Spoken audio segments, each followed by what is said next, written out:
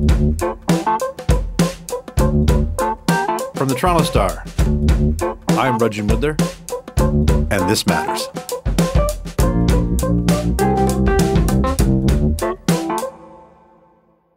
The thing about transit planning in this city and province is that it's always changing. And of course, there's always a domino effect.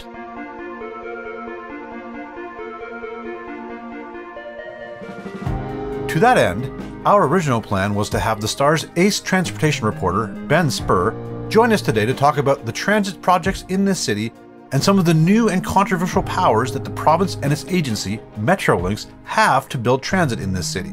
In that conversation, at one point, Ben says this. I think what's really interesting to note too is that historically, projects in the Toronto region don't get built as planned. Routes change, projects get canceled. Well, as we like to say in this business, the news never stops.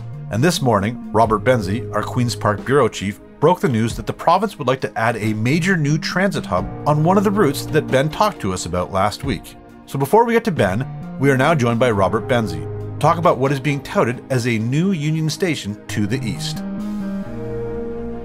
Our first guest today is Robert Benzie. Rob, great scoop today. Thank you so much for making the time to join us. My pleasure, Reggie. How are you?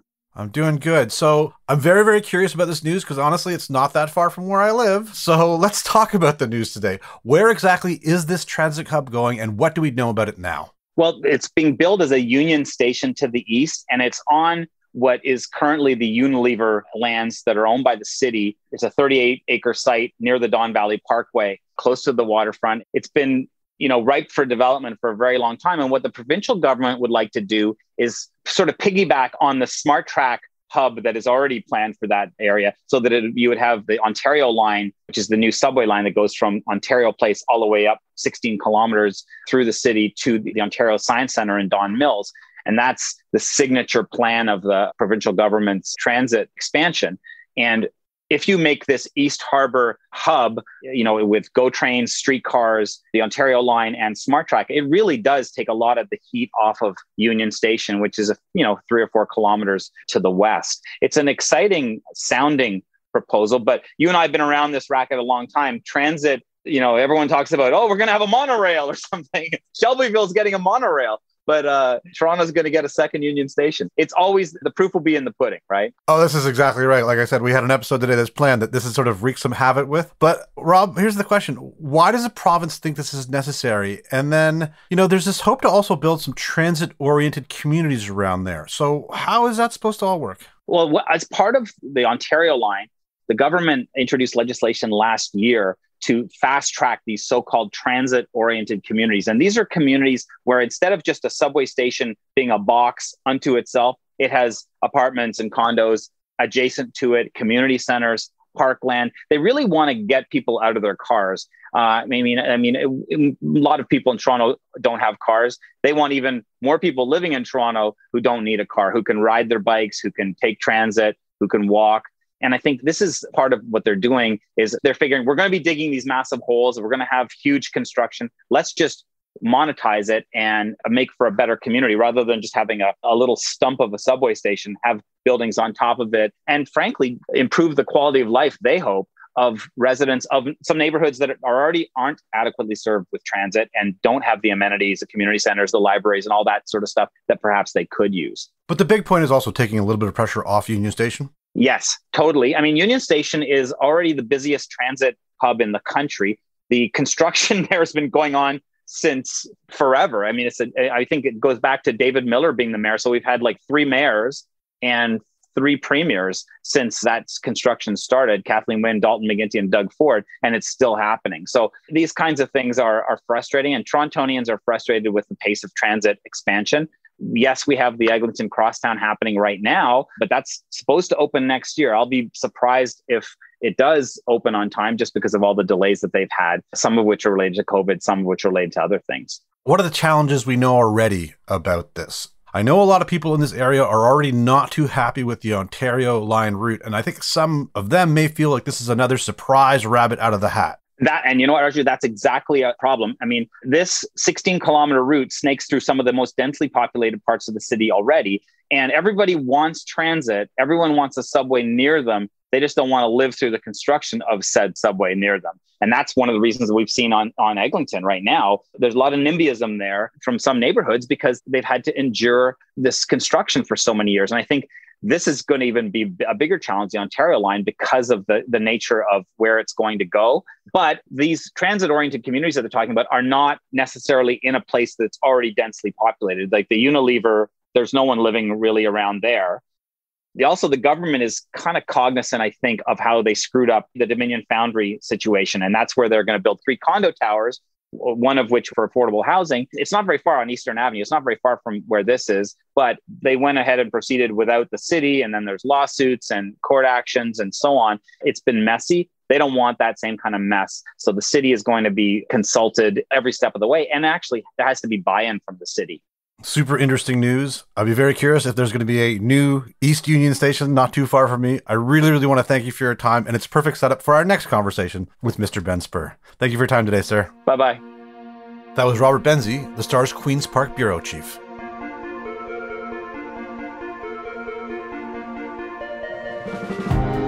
Next, we have Ben Spurr, the Star's transportation reporter.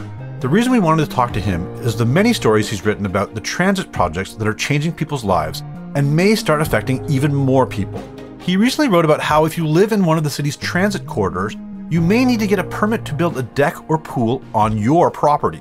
We talked to Ben before this morning's announcement, but really, with this new hub, Metrolinx's powers could affect even more people, so it's even more relevant with this news.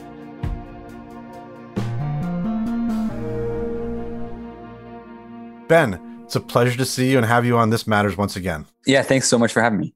So, Ben, there's a ton of stuff happening with transit in the city. I believe there are, what, four sort of major transit projects that are in certain stages of being built right now. Can you just bring us up on speed on sort of where things are at with all of them?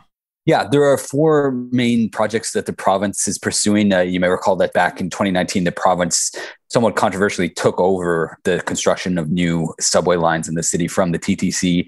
And it's building four projects the Scarborough subway extension, the Ontario line, the Eglinton West LRT, and the Yonge North subway extension. And so all those projects are basically still sort of in early stages of procurement, they call it, basically finding people to, to build these things and putting out contracts for the design and construction construction work. And so they're basically in still in early stages with construction on some of them. Early works on the Scarborough subway extension and the Eglinton West LRT is supposed to start as soon as this year. Construction for all of them would presumably finish around the end of this decade.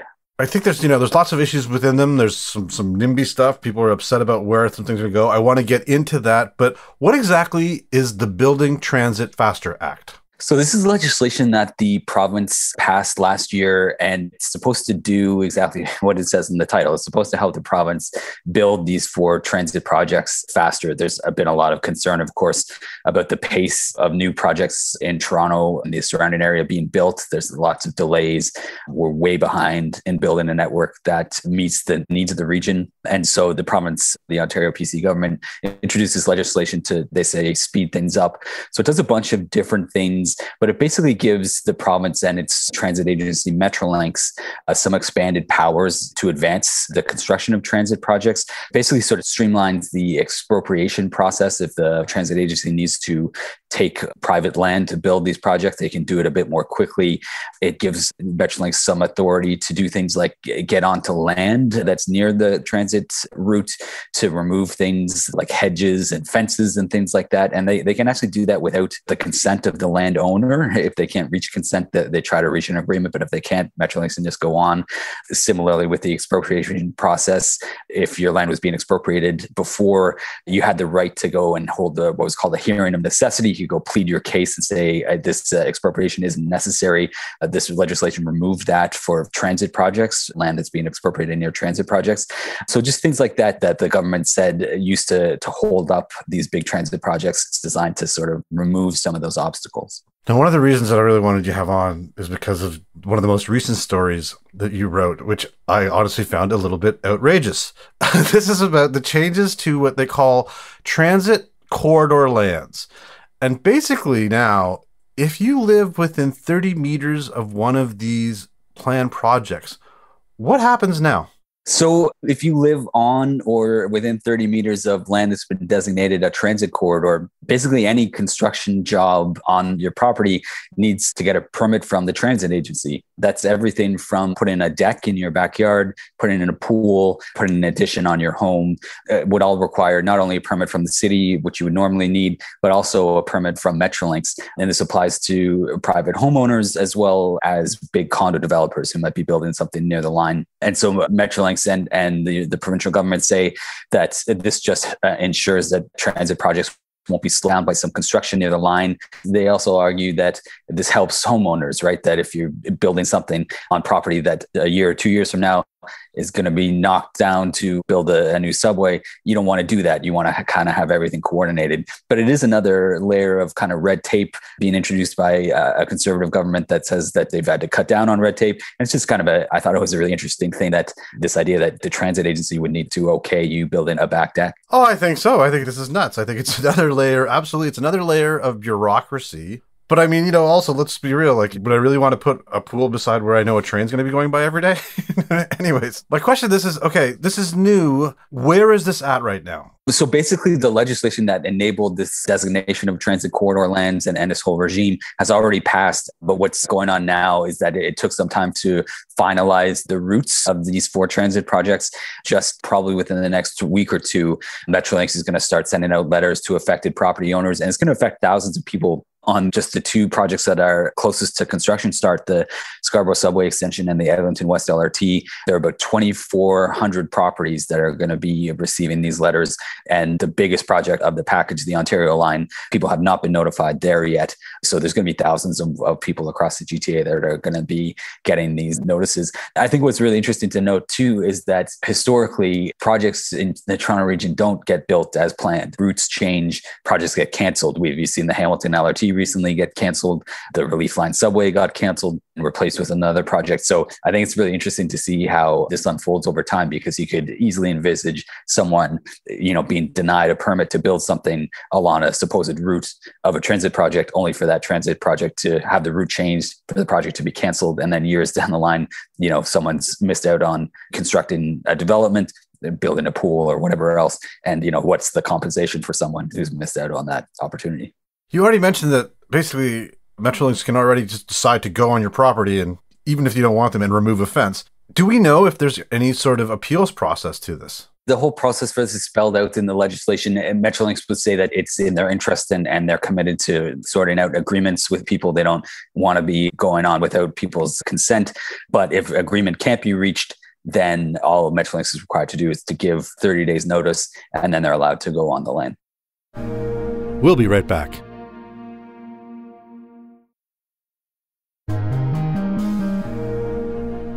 So, beyond this new permitting system, let's talk a little bit about expropriations. You've already done some great stories about people getting displaced.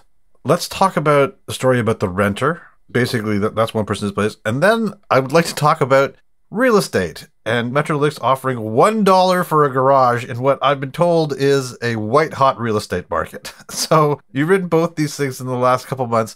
What exactly is going on with this? Yeah, the first story you mentioned is a renter, a man named Scott Whiteman. He's, he's 56 years old. He lives in a plaza that's going to be knocked down to build the Scarborough subway extension. I think it's fair to say he's, he's a pretty vulnerable person. He lives on disability support. He doesn't have a lot of income. He says he was very lucky to find his apartment, which he pays only $480 for the room that he has above the strip mall. And so now that uh, he's going to lose his apartment as a result of Metrolinx's construction activity. And what's interesting, I think, why I wanted to write about that was that there's a legal system that is set up to compensate people who do lose their homes, but it only really deals with financial compensation. I'm told that by experts that system works pretty well. But for people like Scott, he told me repeatedly he doesn't need money. He needs a home that he can afford to pay rent in. And so finding a place for $480 a month in Toronto is, is really difficult. So he's worried that he could get a package, a settlement from Metrolinx, but he needs to find a landlord who's going to rent to him. He needs to find a, a home that he can afford long term whenever that package from Metrolinx runs out. So I think it just speaks to, I don't think necessarily his case is, is typical. I don't know how many people are in his position, but I think it just speaks to the fact that there are these, while expropriations are compensated financially, there are these intangible, less quantifiable impacts that I think are worth paying attention to as Metrolinx embarks on this massive transit expansion program across the region. And what about the gentleman with the garage? So yeah, this is uh, another interesting case. Again, not sure that it's typical. I think that most expropriations don't end up in a big court fight like this. But basically, there's a man named Noel Francis Chantium who owns a garage in King City, just a, a little bit north of Toronto, and his land's going to be expropriated for an expansion of a GO Transit project. And so Metrolinx valued his land at 2.1 million dollars, but they've offered him only one dollar, and that does sound pretty nuts for sure. But what Metrolinx says is that that basically the land has been contaminated, that it, this garage that's been operating there for many years. So while the land itself is worth more than $2 million, it will cost more than that to clean it up. And so therefore they've only offered this guy $1 for his land. So it's going to be a messy dispute it's worth pointing out Metrolinx doesn't have final say. They don't say here's one dollar and you take it or leave it. They will go through the expropriation process and, and there's a legal regime to get him market compensation for that. But his lawyer has argued to me that Metrolinx has a duty to present a good faith offer and one dollar for a land is not good faith. Interestingly enough, and I don't know how much you want to put this in the podcast, but Metrolinx initially would not tell me much about this case. They said it's before the courts and use that kind of excuse that officials often use when they don't want to talk about a potentially messy legal issue. But after our story ran and got a lot of traction, the CBC followed it up and Metrolinx gave them a bit more information about this case. They said that this owner, they alleged, you know, had not been a good environmental steward of the land, to say the least, had, had violated some rules, had been contaminated the soil there. And so they said that the land is not worth as much as he hopes it does now. And it's his fault, they claim. It's a messy dispute that's going to last, I think, take a while to untangle, but certainly a strange one. Sounds like the best deal in real estate in the GTA I've heard in a long time. you know, one of the things you mentioned is, is that the, through the expropriation process, there are supposed to be laws that protect these people and their homes and their properties. Are you seeing that happen, or are we too early in the process right now? I think we are pretty early in the process in terms of these four transit projects that Metrolinx is pursuing. They've had other transit projects that they've built in the past. I spoke with experts, with lawyers who have worked on cases involving Metrolinx, and they told me that Metrolinx is, is pretty responsible in these cases, that there is a, a, good legal system in place to ensure people's compensation, and that Metrolinx is responsible and acts well. But I think it is just worth, you know, Metrolinx is going to embark, as I say, on this massive expansion of transit projects in, in the region. So I think it's just worth keeping an eye on how these processes play out. It's going to affect thousands of property owners. And I think it's just worth keeping an eye on, on how Metrolinx interacts with the communities that it affects. And, you know, Metrolinx in the past, if you talk to people, people who live near Metrolinx transit projects, they say that Metrolinx is not often very transparent with them. I think it's fair to say Metrolinx has a bit of a trust issue with communities that it's building projects near. And so, off the bat, I think that might kind of sour these processes as they unfold. But yeah, I, I should stress that legal experts and lawyers who I spoke to did say that Metrolinx handles things in a responsible way and that there is a legal regime in place that will uh, protect people. The caveat to that, though, too, is that the Building Transit Faster Act is new. There is an Expropriations Act that governed all this stuff before last year. And so, the Building Transit Faster Act not totally been tested. So I think it'll be worth watching that as well. That's interesting to hear, as I don't live far from where the Ontario line is proposed to go. And I know that there are a lot of people up in arms about that. We have to take into account that there are some people who are NIMBY about any kind of transit planning in their neighborhood, but there have been some design changes to the East End plans and to the Yonge line. Can you tell us a little bit about those? There's a section of the Ontario line. The Ontario line is a basically a 16 kilometer transit project. Going to cross the, the city basically from the, the southwest to the northeast from Exhibition Place to the Ontario Science Center. It's going to pass right through downtown. It's the most important transit project that the Ontario government is pursuing. That Doug Ford has described it as the crown jewel of the transit plan. But there's a controversial section of it that much of it runs below ground through the middle of the city, but Metrolinx is building it above ground through an existing rail corridor through the neighborhood of Leslieville and Riverside, east of the Don Valley. And that's caused a lot of pushback from people in the community who say that the trains running above ground close to parks in their backyards and whatnot is going to have negative effects on the community. And basically, Metrolinx had planned to, has been for the last year telling people that the Ontario line tracks would basically straddle an existing go corridor run on either side but just recently they announced they didn't announce actually just came out at a small public meeting that they're thinking of moving the tracks for the ontario line to one side of the corridor, which would basically mean shifting some of the GO tracks to the other side. And the details of this may may not strike people as particularly important, but it just spoke to I think the trust that the community has in Metrolinx because Metrolinx has been telling them for a year it's going to be this way. This is the best way to do it. This will minimize impacts on the community. And now they're saying actually wait a second, we have to change the design. We have to shift the track to a new alignment, and that's going to be the best way. And it just caught local residents off guard there. Again, this speaks to this issue of a, a trust deficit, I think, with the community and Metrolinx. And there's also plans for more above ground on the Yonge line now too, right? Yeah, that's right. Yeah. So uh, again, Metrolinx announced, I think it was two weeks ago now, that uh, the Yonge line will be brought above ground for part of its section as it heads towards Richmond Hill. But I think what's really interesting to note about this is that both of these design changes are facing opposition from residents who live near them. So in Toronto, in the Ontario line, people are upset about the line being built above ground through their community.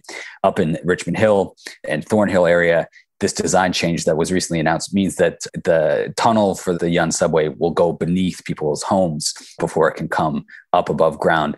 And so people are upset on the Yonge North line that the train's going to be going beneath them people on the Ontario line are upset that it's going to be above ground. So I think that just speaks to some extent the difficulty and the challenges that Metrolinx is facing. Any kind of impact that these projects has on, on people's community is going to, I think, experience some pushback.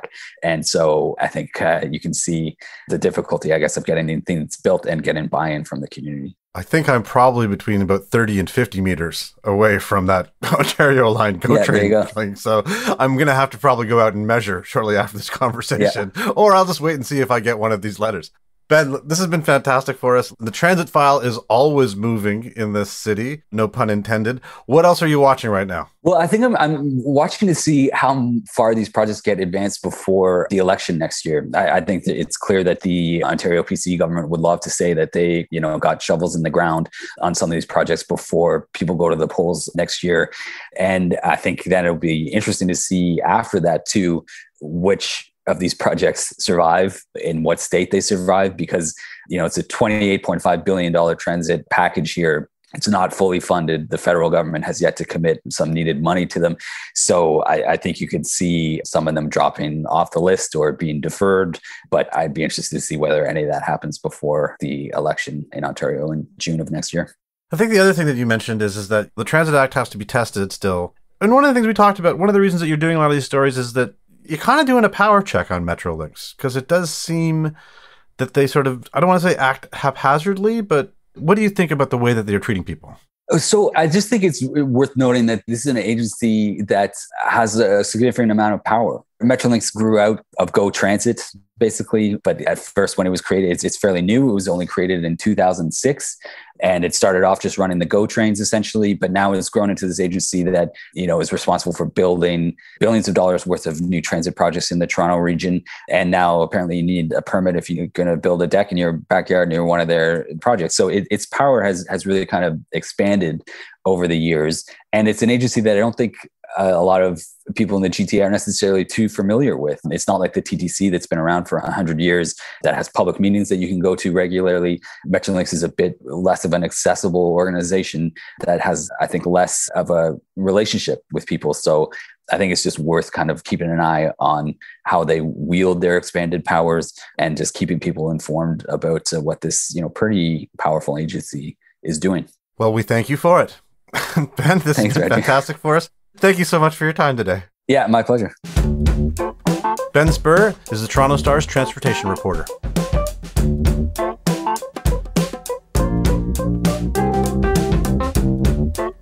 That's it for today. Thanks so much for joining us. This Matters is hosted and produced by me, Raju Mudhar, Adrian Chung, and Saba Eitizaz. Produced and mixed by Sean Pattenden, and our director of programming is JP Fozo. Our show theme music is by So Called, and our episode music is by Mike DeAngelis. We want to hear what stories matter to you. Please send us comments, questions, or ideas to thismatters at thestar.ca. Please consider supporting the journalism the Toronto Star newsroom does at thestar.com. And don't forget to subscribe to This Matters on Apple Podcasts, Spotify, or wherever you listen to your favorite podcasts. Let's talk soon.